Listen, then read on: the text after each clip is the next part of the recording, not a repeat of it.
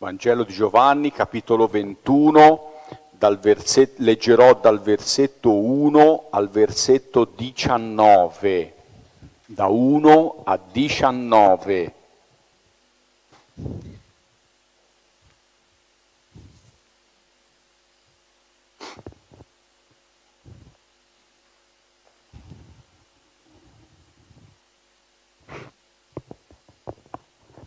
Ok.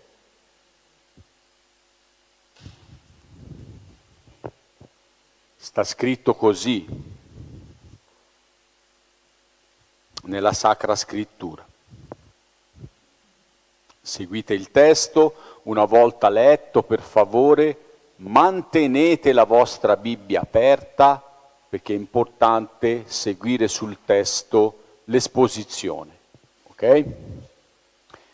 Dopo queste cose Gesù si manifestò di nuovo ai discepoli presso il mare di Tiberiade e si manifestò in questa maniera. Erano insieme Simon Pietro, Tommaso detto Didimo, Natanaele di Cana di Galilea, i figli di Zebedeo e due altri dei suoi discepoli. Simon Pietro disse loro, vado a pescare. Essi gli dissero, veniamo anche noi con te.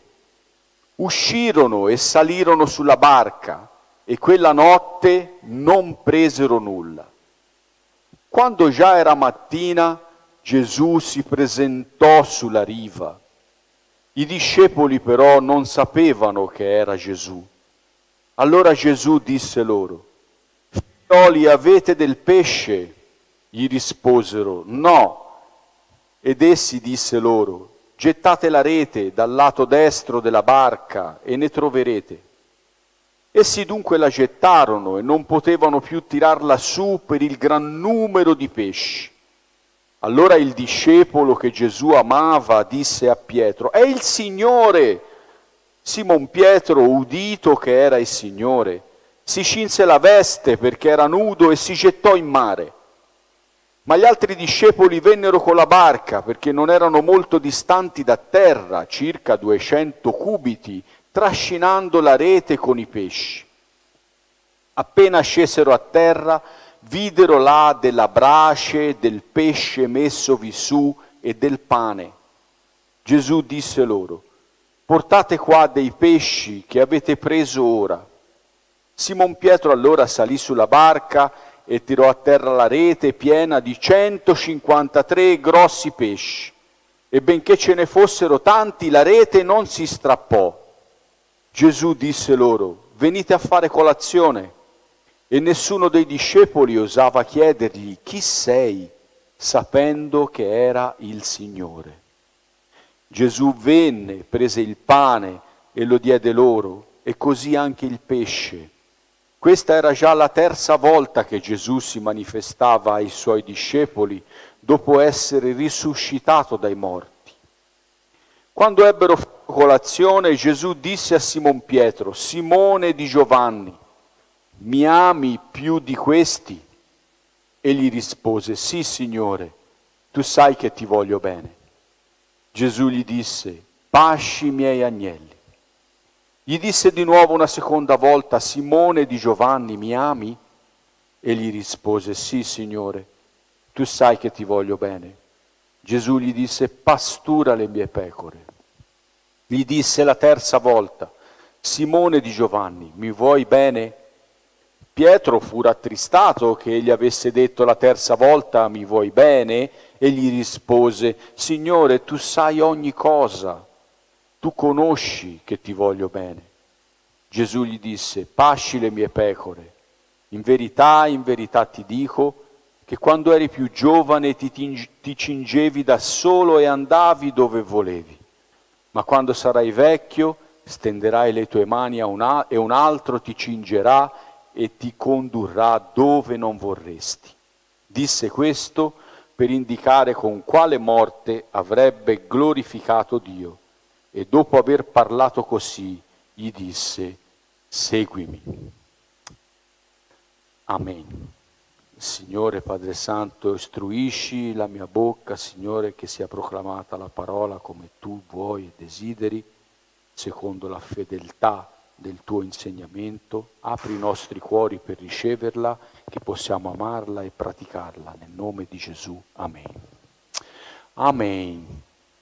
Questo testo straordinario, fratelli, sorelle, amici, dove c'è Gesù che appare per la terza volta ai suoi discepoli sulla riva del mare della Galilea. Ma io voglio parlare attraverso questo testo di un uomo, un uomo che forse tra tutti i personaggi della scrittura è quello più simile a me e a te, l'Apostolo Pietro. L'Apostolo Pietro è un emblema dell'umanità, è un simbolo degli uomini, ci rappresenta e noi ci vediamo rappresentati in lui molto bene, perché lui è quest'uomo che è una specie di pendolo che oscilla tra avanzamenti eh, repentini e cadute, tra successi e fallimenti, tra alti e bassi, scalate e cadute. L'Apostolo Pietro è un uomo, un tipo di uomo, quel tipo di uomo, come me, come te, contraddittorio, che a volte è capace di una fede fortissima, radicale. È lui che dichiara al Signore, tu sei il Cristo, il figlio del Dio vivente. E a volte invece compie delle cadute rovinose, come quando tradisce il Signore Gesù e lo rinnega per tre volte. L'Apostolo Pietro ora è, so, è quel tipo di uomo che ora è solido come una roccia, ora è debole come la sabbia che è portata via dal vento. L'Apostolo Pietro è quel tipo di uomo che è capace di affermazioni di fede audaci, solide, straordinarie, rivestito di un coraggio impressionante quando predica davanti a, ai giudei e a volte è usato da Satana invece per tentare il Signore Gesù e allontanarsi dalla sua missione quando il Signore Gesù dice vai retro, vai indietro Satana, non mi tentare. L'Apostolo Pietro è il tipo di uomo che rappresenta perfettamente. Se io mi guardo con onestà davanti allo specchio, posso vedere l'Apostolo Pietro. Posso vedere che lui mi rappresenta e sono molto simile a questo tipo di uomo. Dice la scrittura, come arriviamo a questo episodio? Dice la scrittura che l'Apostolo Pietro, dopo aver rinnegato per tre volte il Signore Gesù nel cortile della casa del sommo sacerdote il venerdì della passione, lui cade in se stesso. Il Signore aveva predetto questa sua eh, caduta, questo suo rinnegare tre volte il Signore, quando lui aveva detto, ah, io sono per te, io verrò con te fino alla morte.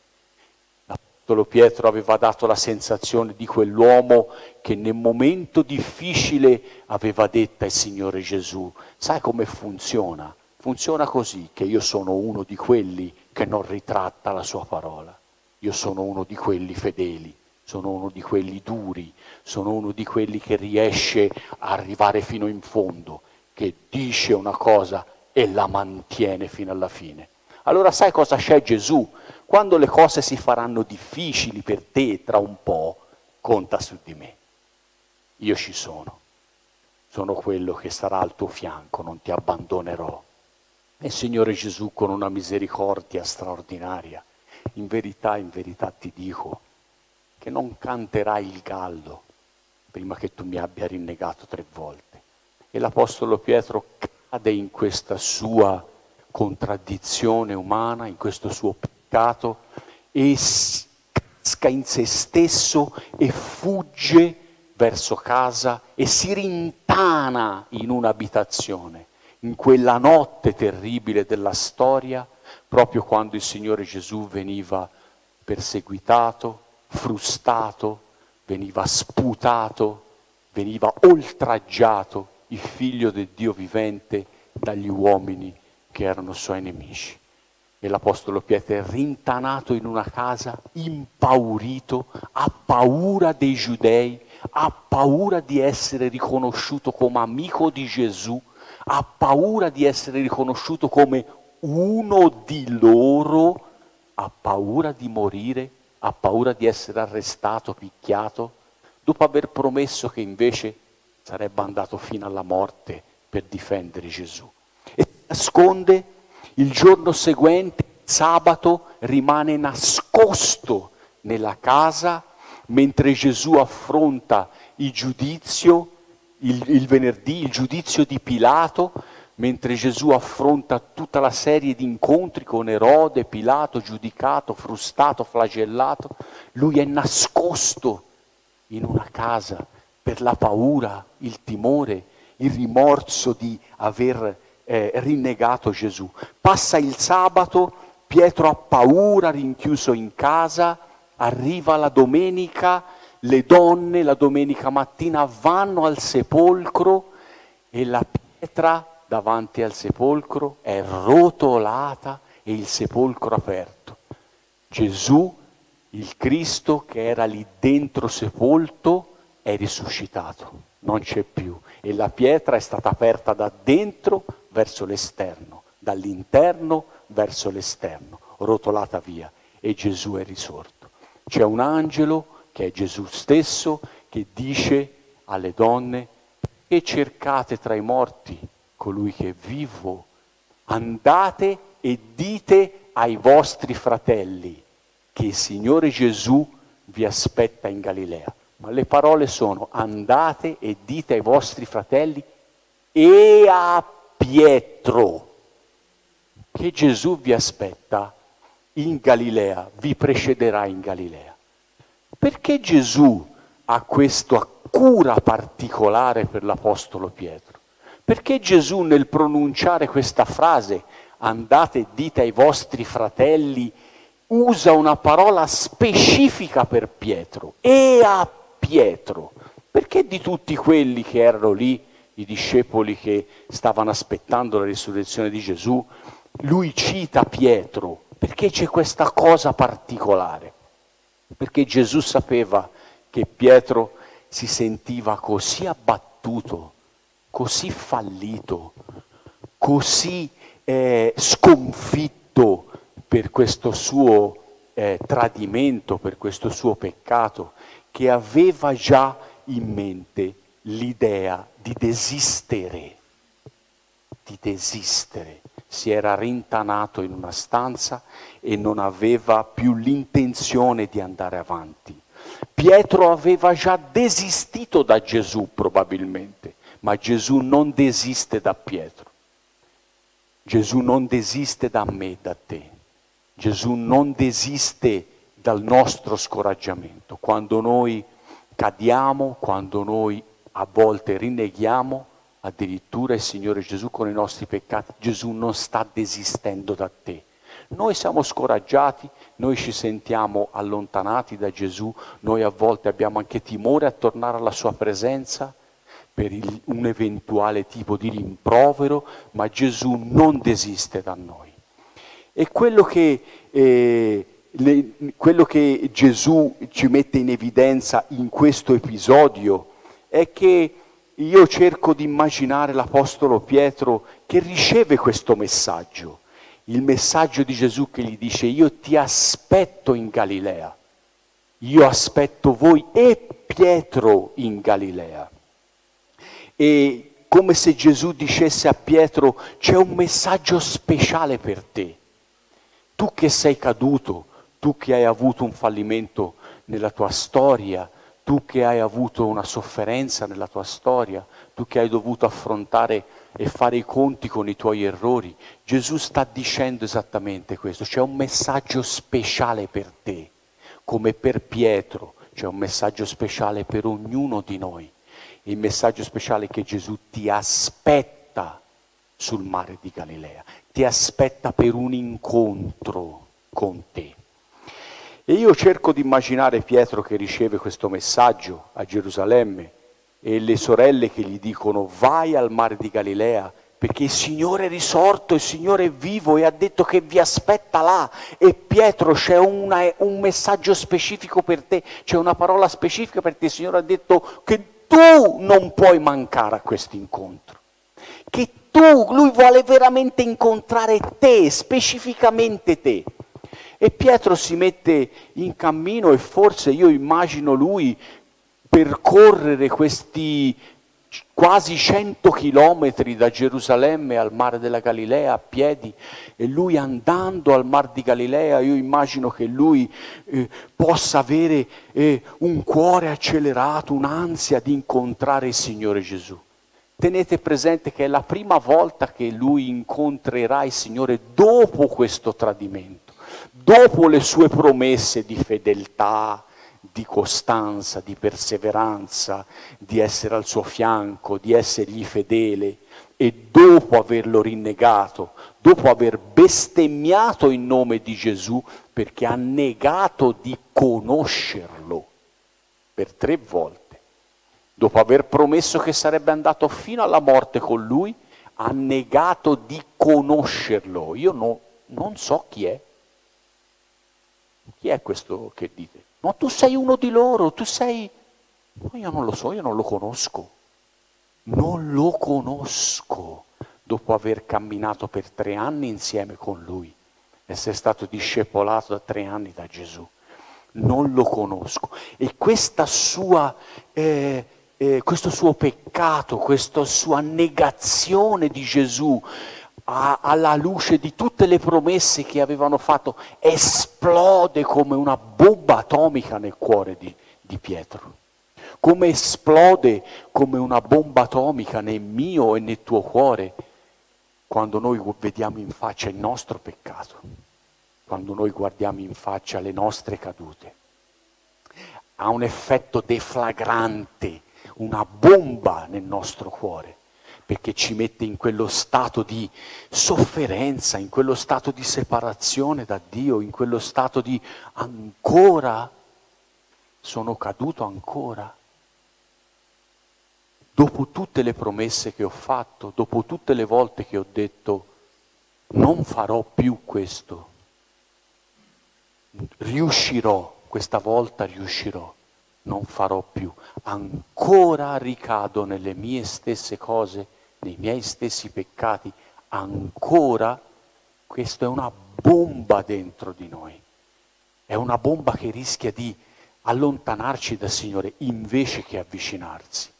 E il Signore sta dicendo a me e a te, come ha detto a Pietro, vieni a incontrarmi in un posto, vieni all'incontro con me, perché io ho una parola speciale per te, ho un messaggio speciale per te. Tu vieni. E Pietro sta andando lì, sul mare di Galilea, dove si svolge questo episodio. Pietro sta arrivando, sta andando lì e immagino questa camminata da Gerusalemme al mar di Galilea dove Gesù gli ha dato appuntamento che deve essere stata molto tribolata, ogni passo di questa camminata probabilmente come una martellata nel cuore. Forse Pietro stava pensando, ora io quando andrò là e mi incontrerò con il Signore Gesù, lui mi brontolerà, lui mi riprenderà duramente. Forse quello che noi pensiamo quando pecchiamo, quando ci allontaniamo dal Signore, forse abbiamo timore a volte di andare a incontrarlo di nuovo, perché temiamo sua, il suo giudizio, temiamo a volte la sua, di essere brontolati, di essere castigati, ci vergogniamo di aver un'altra volta fallito nelle nostre promesse, nei nostri propositi. Quanti propositi tu fai? Pensa un attimo a quanti propositi hai fatto di non commettere più quel peccato, di non scivolare più su quella buccia di banana, di non essere più, eh, eh, di non dare più eh, adito alle, alle, eh, alle bucce di banana che Satana mette nella mia e nella tua vita per farti scivolare. quella persona, quell'altra persona, quella, quella frase, quel parente, quella suocera, quell'amico, quel comportamento, quel lato di carattere del marito, della moglie, i problemi, quel problema del figlio, della figlia, quel, l'amico, l'amica, la scuola. Quante volte tu hai detto adesso no, adesso no, non lo farò più. E quante volte invece tu sei dovuto tornare al Signore e tu l'hai dovuto fare con umiltà perché il Signore ti sta aspettando comunque e tu hai pensato, quante volte hai pensato forse di desistere qualche volta? Hai pensato di dire non fa più per me questa storia di peccare, chiedere perdono, peccare, chiedere perdono, peccare, chiedere perdono. Non fa più per me questa storia del ministero, questa storia della chiamata, no? Non fa più per me perché la mia vita si ripete, i miei peccati si ripetono. Quante volte tu hai pensato questa cosa e quante volte tu hai avuto timore di tornare dal Signore? E forse l'Apostolo Pietro stava pensando questo, aveva quasi timore di andare. E qui il testo, veniamo al nostro testo, ci parla di uno scenario. Siamo sul lago di Tiberiade, siamo sul mare di Galilea. E quando Pietro arriva all'appuntamento che Gesù gli ha dato incontrare loro e lui specificamente, perché Gesù aveva di mira una cosa specifica, la restaurazione di Pietro, la restaurazione mia e tua. Gesù ha nel cuore che tu sia restaurato, ripreso per mano, ritirato su, rimesso in piedi. Questo ha Gesù come scopo, questo ha nel cuore, perché tu sia salvato e restaurato nel ministero, nel servizio, nella vita di chiesa, nel dare frutti, restaurato, restaurato, nonostante i nostri tradimenti. E quando Pietro arriva all'appuntamento, si presentano sul mare di Galilea, Gesù non c'è. Avete visto nel testo all'inizio. Gesù non è presente. Lui arriva sulle rive del lago dove Gesù gli ha detto di andare, dove le sorelle hanno riferito che Gesù l'avrebbe aspettati, ma quando lui arriva, quando loro arrivano, Gesù non c'è. Qual è la reazione di Pietro in questo momento? Vado a pescare, dice Pietro, vado a pescare, vado a pescare. Pietro stava già pensando di tornare alla sua vecchia vita, alla sua vecchia occupazione. Pietro arriva con il peso, il carico delle, della sua colpa, arriva con il con l'angoscia di aver tradito Gesù, di, essersi, di, di non aver mantenuto la sua promessa, la sua parola, e arriva, non vede Gesù, è sopraffatto da uno scoraggiamento e lui manifesta qui l'intenzione di desistere. Cioè vado a pescare, io riprendo la mia vecchia vita, vado a fare l'unica cosa che so fare. Qual è la cosa che Pietro sapeva fare? Pescare, era la sua attività, era la sua professione. Io mi rifugio in quello che so fare bene. Io mi rifugio, basta con questa storia di, di vita spirituale, di... è troppo difficile, è troppo dura per me, è troppo... ho promesso, non ho mantenuto, sono deluso con me stesso, sono deluso da quello che poteva essere, ho deluso il Signore, non, io non, non fa più per me questa storia di servire in chiesa, non fa più per me questa storia di evangelizzare, non fa più per me questa storia di viaggiare costantemente, non, non fa più per me questa storia di essere un credente fedele, di, un, di, sforzarmi per essere un credente, perché sento che a volte è uno sforzo, non fa più per me. Non fa più per me questa cosa di essere discepolo di quest'uomo che è morto e ora dicono è risorto, non fa più per me. Vado a pescare non c'è più futuro per me. Io chiudo qui il sipario di questa parentesi di vita. Lo chiudo qui, torno al mio passato. Pietro manifesta l'intenzione di tornare a quello che, che, che faceva, di tornare indietro, al suo passato. È un uomo, lui è un uomo molto intenso e tutto quello che faceva Pietro prima agiva e poi pensava, a differenza di Giovanni. Ma anche se era un uomo istintivo, era un uomo intenso che forse prima agiva e poi pensava, era comunque un leader. Infatti vedete gli altri cosa dicono? Veniamo anche noi con te. Lui era un leader, lui riusciva a catalizzare l'attenzione delle persone. E gli altri dicevano, veniamo anche noi insieme a te, veniamo con te. E vanno per la pesca, vanno per la pesca. E pescarono e pescarono, gettano le reti a destra, a sinistra, dice il testo, uscirono, salirono sulla barca e quella notte non presero nulla. Non è da pesca oggi in mare. Sono andati, sono saliti sulla barca no? e cosa forse hanno pensato in questo momento loro? Non sappiamo nemmeno più fare quello che sapevamo fare. Avevano dato il passo perché Gesù li ha chiamati. Gesù dice non siete voi che avete scelto me, sono io che ho scelto voi.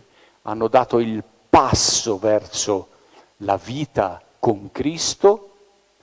Gesù è morto, Pietro lo tradisce, loro si impauriscono, lo Spirito Santo deve ancora arrivare, vogliono vedere, stanno per vedere Gesù risorto, ma loro vanno a rifare quello che sapevano fare, ma non riescono nemmeno nella loro vecchia vita. Non riescono.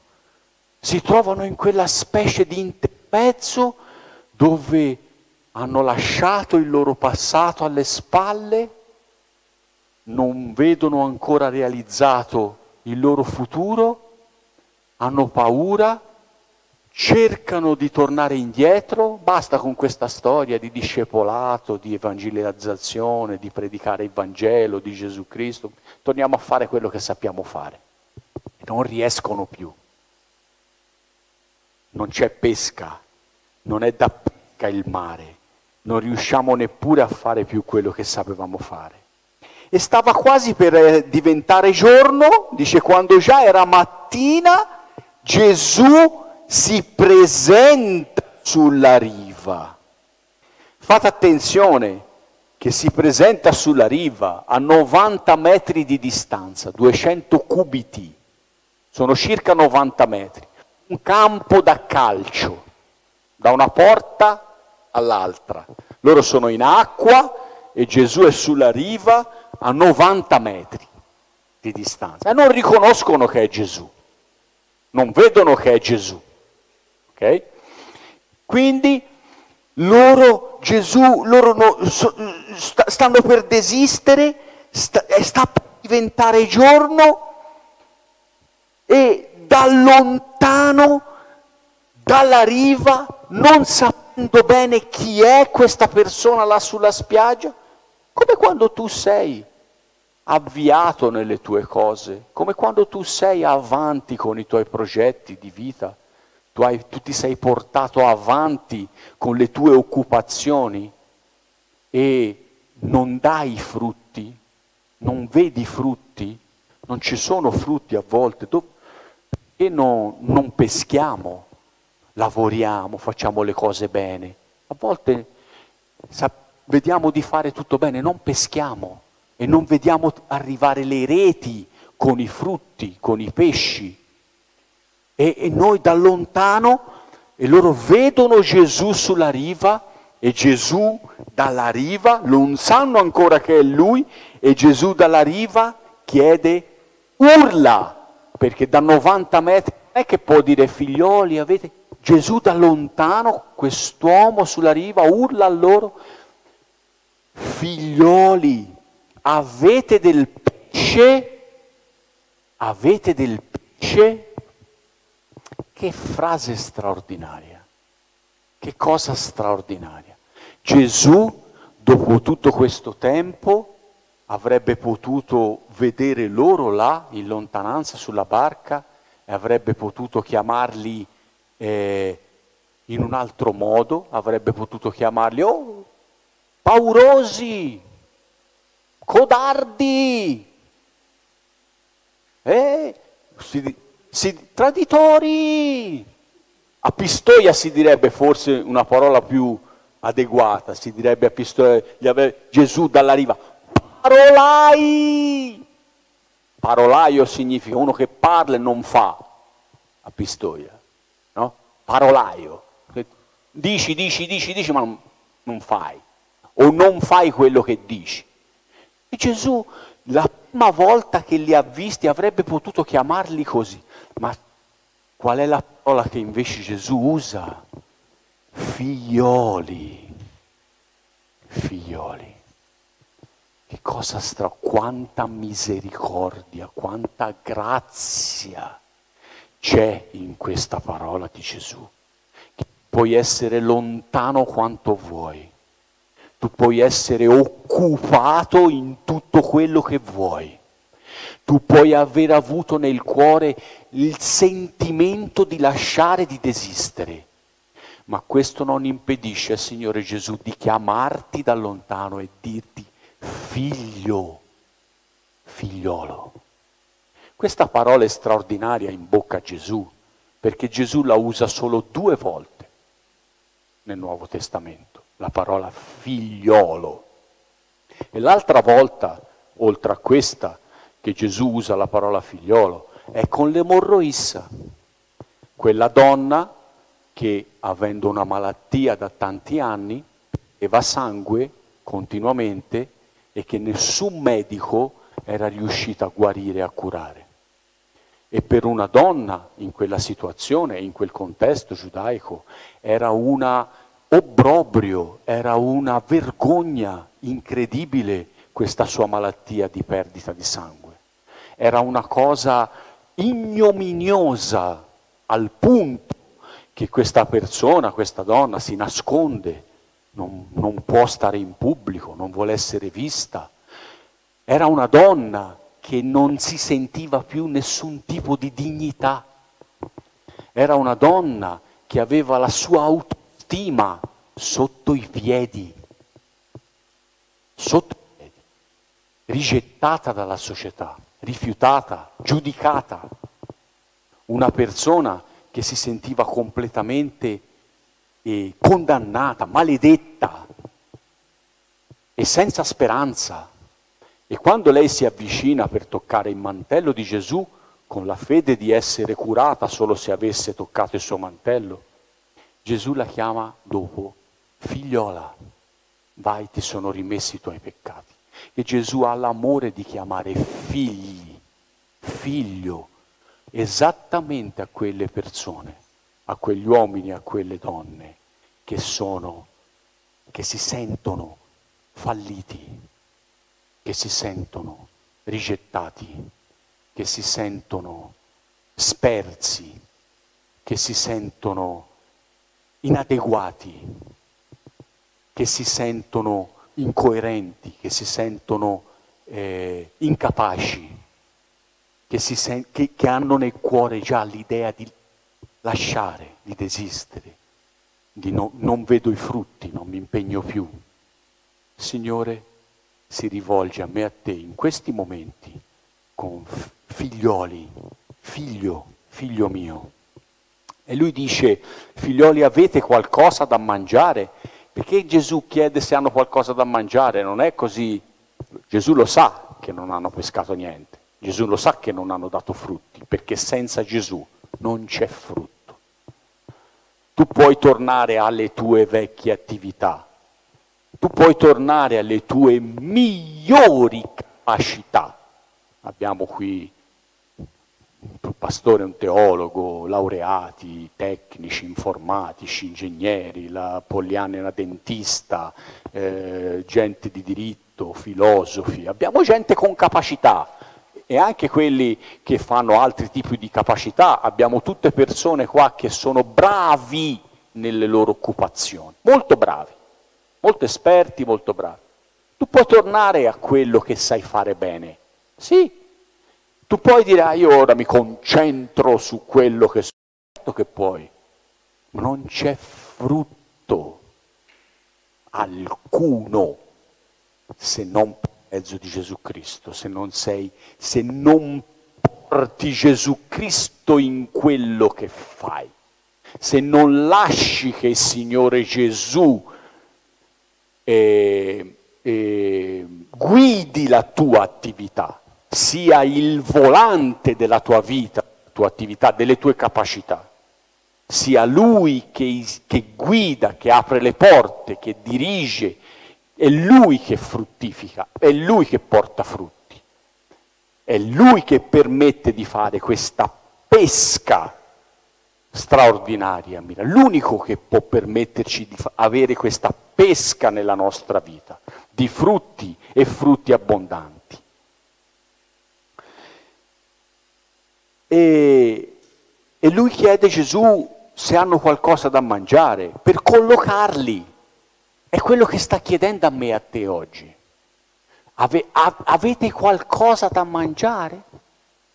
Cioè, sei andato a pescare, sei tornato a fare le tue cose e Gesù ti chiede, quando tu, ti, tu, tu pensi di fare la tua vita senza Gesù, quando tu hai tu, tu, metti dei limiti alla presenza di Gesù nella tua vita. Quando tu dici sì, ok, Gesù in chiesa, durante la settimana? No. Ok, Gesù eh, durante il corso di discepolato? Sì. Nel mio posto di lavoro, se io devo rinunciare a dei soldi, a essere perseguitato per dare la testimonianza? No. Ok, Gesù con i miei amici della Chiesa? Sì. A scuola? In chiesa con i fratelli e le sorelle? Sì. In casa, nel mio matrimonio, con il mio marito, la mia moglie che non è credente? No. Quando tu metti questi limiti, quando tu pensi di poter fare questa cosa, come loro che sono andati a pescare, Gesù allora ti fa questa domanda. Viene da te con una parola, oggi, ora, in questo momento, e ti dice, hai qualcosa da mangiare? Cioè, hai fruttificato? Ti sei sfamato? Ti sfama quello che fai? Ti, ti sazia? Ti sei saziato? Ti sazia questa relazione? Ti sazia questo modo di fare con la tua suocera, con il tuo suocero, con il tuo fratello, con la tua sorella? Ti sazia questa, questo rapporto malato con il tuo amico, la tua amica? Ti sazia questa giustizia che tu hai avuto, voluto applicare al fratello di chiesa, alla sorella di chiesa? T'ha saziato? Dov'è il frutto? Dov'è il pesce? Hai qualcosa da mangiare? Mi fai... Hai, hai agito secondo le tue competenze? Hai agito pensando di essere come Pietro, quello che è. Io ti seguirò ovunque, fino alla morte. Sapete perché Pietro aveva fatto questo ragionamento di seguire Gesù ovunque fino alla morte? Perché in fondo lui pensava di essere migliore degli altri. Lui stava dicendo a Gesù, e eh, non sono come questi, io ti seguirò, tu puoi contare su di me, quando arriva il momento che stringe, io ho avuto così tanta rivelazione, io ho avuto così tanta conoscenza di te, Signore, che quando arriverà il momento critico, conta su di me. Che sciocchi!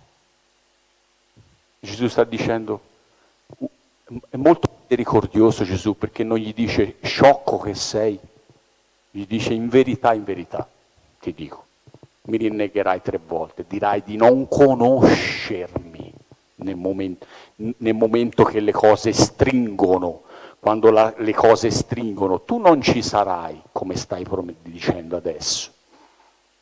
Hai voluto agire secondo le tue competenze, secondo... E Gesù dice, avete qualcosa da mangiare? Sta dicendo, qual è il risultato? Mi fai vedere quale, quale, riusciti? Questa è la domanda che Gesù sta facendo.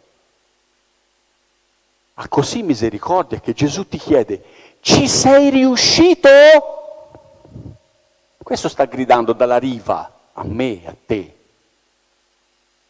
Pensa a, a, alle tue cose, pensa a quello che tu volevi realizzare, pensa a quello che tu hai voluto fare che il demonio ti sta mettendo nel cuore di tornare alle tue vecchie cose, pensa a quello che tu volevi fare, che tu vuoi realizzare senza Gesù, dicendo basta. E Gesù ti incontra nuovamente per la sua misericordia, ti chiama nuovamente, ti chiama nuovamente qui a questo mare di Tiberiade, questo, la, questo mare di Galilea qui, ti chiama a questo lago di Tiberiade, questo mare di Galilea. Lui ti ci riporta, ti ci riporta sempre e ti chiede, ci sei riuscito senza di me?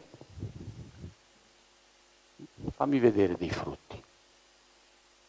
E allora Gesù gli dice, e loro rispondono da lontano, gli risposero, no, perlomeno sono onesti, non potevano negare l'evidenza, non hanno preso niente, dopo una notte intera. E guarda che chi era esperto pescatore? Chi era esperto di quello che stava facendo in quel momento? Questi erano professionisti, questi vivevano di pesca, questi erano gente che conoscevano la temperatura dell'acqua, l'ora giusta, il posto giusto, la tecnica giusta, le maree giuste. Loro sono stati chiamati su quel lago, loro vivevano lì, quello era il loro mare, era casa sua, conoscevano quelle acque come nessuno poteva conoscere quelle acque. Immaginate la loro sorpresa quando in un posto che conoscevano bene, qui si direbbe a Pistoia, erano nei loro cenci, avevano tutto per dare risultati, avevano tutto perché questa pesca andasse bene, avesse successo. Come noi, quando pensiamo di avere tutti i requisiti, tutto a disposizione, tutto che possiamo dare successo, perché non diamo successo a volte? Dimentichiamo la cosa più importante, la presenza di Gesù, agire secondo la sua parola. Una parola chiave dimentichiamo, una parola chiave, ubbidienza e costo da pagare seguire Gesù. Vogliamo saltare questo passaggio e non, dice no, non abbiamo preso niente. E Gesù dice gettate la rete dal lato destro della barca e troverete Adesso sì, adesso sì. Gesù parla, Gesù comanda, Gesù chiama lì intorno alla barca i 153 pesci più grossi di tutto il lago. Adesso lui ha deciso che fa vedere che con lui si può qualunque cosa qualsiasi cosa, qualsiasi frutto, qualsiasi risultato, qualsiasi pesca. Adesso lui chiama i pesci lì intorno alla barca e prendono 153 pesci e non potevano più tirarla su il gran numero di pesci, non riuscivano a tirare la rete a bordo il gran numero di pesci. Allora il discepolo che Gesù amava, Giovanni, disse a Pietro, disse a Pietro sulla barca, allora lo riconoscono, allora vedono chi è quella persona che ha detto fai questo e questo, metti lì, adesso è l'ora. Quell'uomo là ha scelto il momento e il modo. E adesso sì, è arrivata la pesca. E quando tu hai tentato decine di volte con i tuoi mezzi, con le tue capacità, con la tua volontà, con i tuoi sforzi di fare qualcosa e non sei riuscito, e improvvisamente, per grazia di Dio, tu ti affidi al Signore e le cose accadono, ti ricordi quando ti è successo di sentire nel cuore quella certezza incredibile, incrollabile, che tu hai detto, ma questo è un miracolo di Dio. È Dio, è il Signore Gesù che ha fatto questo. Solo Lui, perché io ho provato mille volte e non ci sono riuscito. Com'è possibile che adesso si è verificato questo? È il Signore Gesù. Il Signore è così misericordioso che ti permette sperimentare il fallimento. Ti permette di sperimentare che non riesci, perché poi tu possa essere sicuro, sicura che è Lui che ha fatto, che è Lui che ha fatto, quello in cui non sei riuscito tu, quello in cui non sei riuscito tu. E infatti Giovanni è il Signore e questa è la sua certezza adesso. Non c'era pesce, ora non si riesce a tirare su, nello stesso posto dove pescavamo noi, in un, posto che, in un modo che io so fare, che conosco. Com'è possibile? È il Signore, è Gesù quello lì sulla riva. E allora guardate cosa fa. E Pietro sulla barca, Giovanni gli dice, è Gesù, è il Signore Gesù. E Pietro che era andato lì a quell'incontro per incontrare Gesù e Gesù apparentemente non c'era. Noi nella nostra vita quante volte siamo andati a un incontro, in chiesa, a un culto, a, a da un'amica, da un amico, ascoltare una parola, alla televisione, quante volte siamo andati con, con aspettativa e siamo arrivati in un posto, non c'è niente qui, non c'è. Mi hanno detto che c'era Gesù, che c'era la presenza di Dio, io non ho sentito nulla. Quante volte?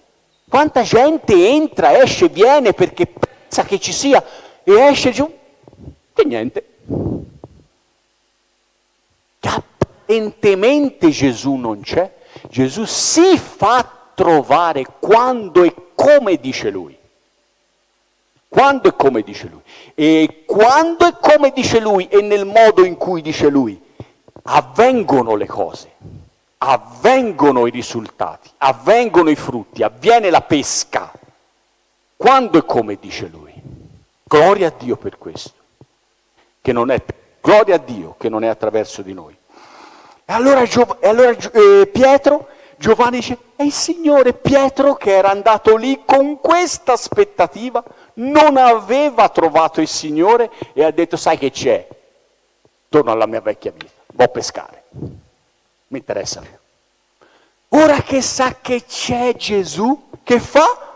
Si cinge la veste e Pietro, che è l'uomo del fare più che del riflettere, lui prima agiva e pensava, si butta in mare, si getta in mare, si butta in acqua, perché ora il suo cuore va a mille, il suo cuore è intrepidante, attesa, desiderio d'andare da Gesù. Adesso siete, ora non ha paura di essere brontolato, di essere ripreso, ora lo vuole incontrare, lo vuole abbracciare. Si butta in acqua 90 metri, comincia a nuotare e va a riva. Ma gli altri discepoli vengono con la barca, perché non erano distanti da terra, 200 cubiti, trascinando la rete coi piedi. Appena scesero, quando Pietro arriva sulla riva del, del lago di Galilea, che cosa vede? Un braciere, un pesce, un pane e solo due volte nel Nuovo Testamento appare questa parola braciere. Il braciere è qui in questo incontro con Gesù e il brasciere è nel cortile della casa del sommo sacerdote dove Pietro rinnega tre volte Gesù. È un brasciere. E la scrittura ci ripropone la stessa parola qui. Adesso che lo scenario è lo scenario di restaurazione di Pietro. Gesù è così misericordioso che sta dicendo a me a te, e sta dicendo a Pietro e a me a te oggi, sta dicendo una cosa semplice. Nello stesso posto dove io ti ho chiamato, nello stesso posto e contesto dove tu mi hai tradito, mi hai rinnegato, in questo stesso scenario io ti restauro, ti metto in piedi e ti faccio dare frutti. Nello stesso posto, il lago di Galilea era il posto dove Gesù ha chiamato loro, ha chiamato Pietro. Pietro era di Bezzaida, viveva qui, qui è stato chiamato, qui è cominciato tutto, qui Gesù l'ha preso in forza dell'elezione. Qui si è data la chiamata nella storia. C'è il richiamo al braciere perché è il contesto, lo scenario dove, Gesù, dove Pietro aveva rinnegato Gesù. E Gesù sta dicendo, Pietro, figlio mio, tu che hai già nel cuore l'idea di desistere, di lasciare, io ti rimetto in piedi nel contesto, nello scenario dove tu sei caduto, dove noi cadiamo, nel posto dove tu sei stato chiamato, nel posto dove tu cadi, nel posto dove tu hai fallito, nel posto dove tu ti sei scoraggiato, nel posto dove tu pensi, hai pensato di desistere, nel posto, nel contesto dove tu hai, non hai mantenuto le promesse che hai fatto, nel posto dove tu mille volte ti hai impegnato e non hai mantenuto nello stesso posto, nello stesso contesto, in questo contesto, Gesù oggi dice a me, a te, come ha detto Pietro, io ti rimetto in piedi e ti faccio dare frutti. Io, dai il mio cuore a me, fai le cose con me e io ti metto in piedi e ti faccio dare i frutti che tu dovevi. Dove sei caduto io ti rialzo, dove mi hai rinnegato mi confesserai, dove sei stato confitto nella nostra vita, nel nostro... ti farò vittorioso in questo stesso contesto. E Gesù chiede poi a Pietro, dopo aver fatto colazione insieme, tre volte se lui lo ama, tre volte. Processo di restaurazione di Gesù prevede che per ogni nostra caduta noi siamo confessiamo e siamo, portiamo alla luce il nostro fallimento, la nostra caduta e siamo restaurati per ogni nostra caduta. A volte noi pensiamo di saltare questo passaggio, a volte noi vogliamo la guarigione senza il processo di guarigione, a volte noi vogliamo la salvezza senza la croce, a volte noi vogliamo passare alle cose eh, successive senza il percorso per arrivarci. A volte noi pensiamo di poter mettere un punto sul nostro passato, pensiamo di poter mettere, di fare una tabula rasa, di azzerare la nostra situazione con Dio senza portarla alla luce senza portarla a un processo di restaurazione spirituale. Ma non funziona così. Non funziona così. Ogni volta che Pietro ha rinnegato, Gesù chiede, mi ami? È interessante la prima domanda che lui fa, la domanda delle tre. Lui dice, mi ami più di loro? Perché Gesù chiede a Pietro, mi ami più di loro?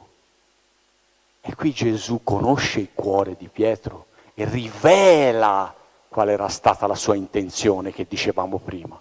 Quando Pietro aveva detto io ci sono fino alla morte, io ti seguirò ovunque, nel suo cuore c'era l'idea che lui era meglio degli altri era più avanti degli altri nel processo spirituale, era migliore degli altri, aveva più rivelazione degli altri, aveva più comunione degli altri con il Signore Gesù, aveva più, più, più, più, più, più degli altri. E Signore, mi ami più degli altri? Mi ami più di loro? Signore, lo sai che io ti amo, prenditi cura miei, delle mie pecore. E la seconda volta, la terza volta il Signore chiede, mi ami? Ti amo Signore. Mi ami? Oh Signore, ti amo. Tu sai tutte le cose. Pietro si dispiace di questa terza domanda. Ma è... lui si dispiace, gli dà noia che Gesù glielo chieda tre volte. Vabbè, hai già chiesto, ho detto ti amo. Perché me lo chiedi tre volte? Ma Gesù conosce i principi spirituali che lui ha stabilito sulla nostra vita ogni caduta singola vede un processo di restaurazione singolo. Noi non possiamo saltare questo processo. Non possiamo azzerare e dire, ah, si mette un punto e si riparte da qui. Che è stato è stato, io mi scordo del mio passato. I miei peccati devono essere restaurati. Una cosa è incontrare Gesù. Cosa ci dice questo episodio di fondo? Ci dice una cosa importante per noi, ci dà un principio importante. Una cosa è incontrare Gesù, una cosa altra, diversa è essere guariti da Gesù, restaurati da Gesù. Sono due cose diverse.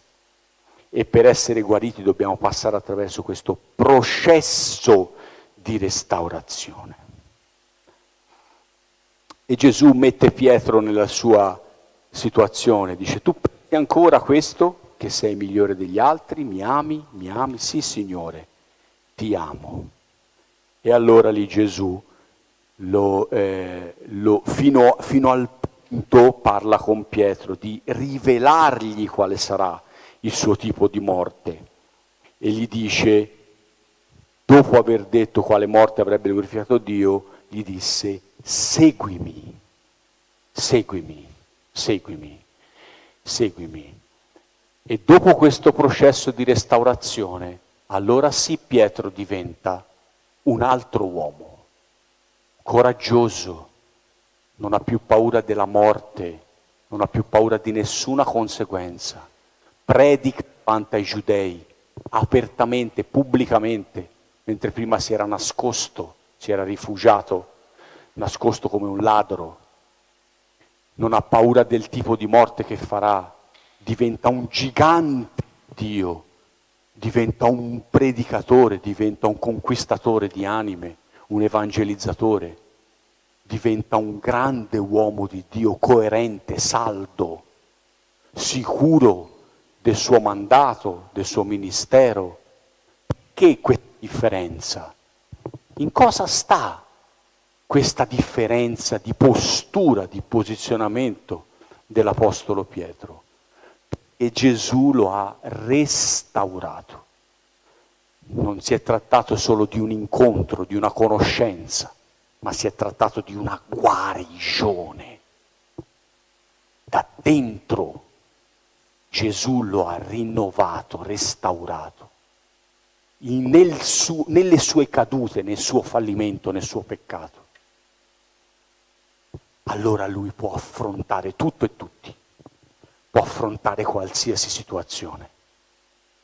Possiamo affrontare, fratelli, qualunque cosa nella vita, se ci esponiamo a questa guarigione, se prendiamo l'impegno di essere trasparenti, sinceri con il Signore Gesù, se mettiamo mettiamo le nostre cadute, i nostri fallimenti alla presenza del Signore Gesù, se prendiamo un impegno con la parola di Dio, se prendiamo un impegno con la preghiera, se prendiamo un impegno nel discepolato, nel camminare accanto al Signore, se permettiamo al Signore di entrare nelle nostre ferite, aprirle, le esponiamo a Lui anche se doloroso, anche se fastidioso, anche se non lo vogliamo, saremo restaurati. E la, la restaurazione è la base del ministero, è la base dell'invio del mandato, perché possiamo produrre frutti e avere questa pesca, questa pesca.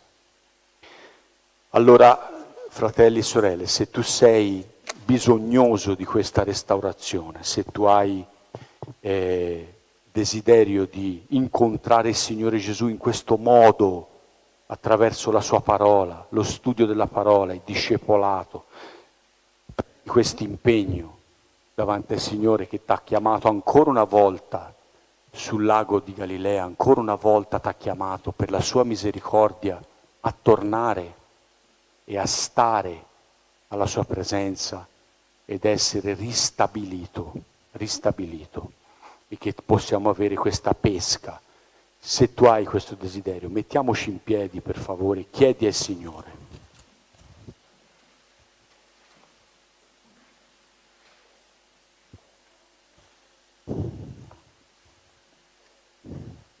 Signore, abbi misericordia di noi, Signore, di questa delle nostre cadute, dei nostri fallimenti, Signore, che possiamo essere restaurati da te, dalla tua parola, per un impegno serio di discepolato, un impegno serio, Signore, di preghiera, di comunione con te, pagare il prezzo, il costo dello studio della tua parola, che è l'unica che ci restaura, che ci guarisce che apre le nostre ferite più profonde, le guarisce, le guarisce e ci dà, Signore, questa pesca, i frutti, questa pesca abbondante che noi non siamo capaci di ottenere con le nostre forze, con le nostre capacità, con le nostre tecniche che usiamo sempre. Ma affidandoci a te, Signore, tu sei il Dio della provvidenza, il Dio del, della purificazione e noi, Signore, possiamo vedere operare questo nella nostra vita, affidandoci a te. Te lo chiediamo, Signore, nel nome del Signore Gesù Cristo, nostro unico Salvatore, potenza del suo sangue. Amen.